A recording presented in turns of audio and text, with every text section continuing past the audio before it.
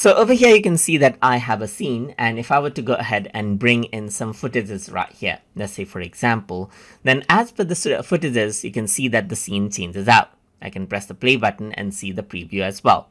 But let's say I just want to go ahead and then uh, uh, want the footage to end here. In that case, I can simply drag the S of this particular scene and drag it till there right here. And if I want to cut the beginning, simply cut the beginning part right here just like this. And once you do that, you only have the scene duration till there.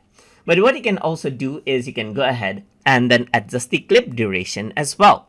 So to do that, you need to go ahead and show timing for selected and then you have your videos right here. So you can see that as I click on this, you get the timing right here. Let me just go ahead and sort all the timing right here.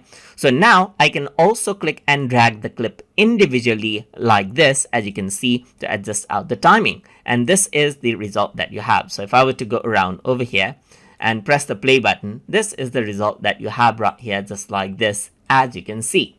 So that is how you can adjust scene and clip duration inside of Google Vids. So I hope you guys learned something as always. And as always, please like, comment, share, and subscribe